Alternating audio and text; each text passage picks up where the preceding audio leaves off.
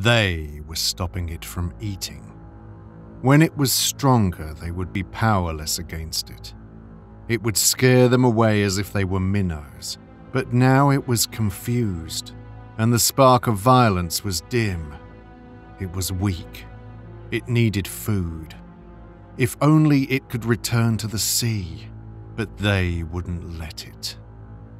The problem was that it could not really understand where they were. Sometimes it felt their presence close by and was aware of the power they were exerting over it. But even at these times, it could sense their terror. It knew they would be easy prey if only it could find them. Yet it never could. It knew instinctively that in this alien environment it could not rely on its senses anymore. Everything was different. No longer was it possible to move effortlessly through the fluid medium that also served as an extension of its sensory organs. This simplicity had been replaced by a strange, dry world where it felt heavy and awkward. Sounds didn't carry as well and the light was too bright and harsh.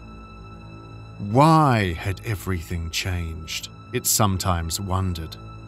And the fact it was capable of rudimentary curiosity revealed that it, too, had changed. Strange thoughts and images now flickered through its mind, where before its consciousness had been untroubled by anything except the urges to eat and mate. And in spite of all the changes, the former urge remained the dominant one, as it had in the sea. The need for food would blot out everything else, and it would be seized in a terrible bloodlust that would send it stalking through the endless white corridors, images of torn and bloody flesh filling its mind. But there was no food to be found within them anymore. It was all gone. And they wouldn't let it go back to the sea where the food was plentiful.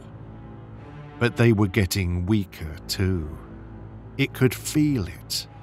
Soon they would be so weak they'd be unable to prevent it from returning to its own world. And there it would overwhelm them completely.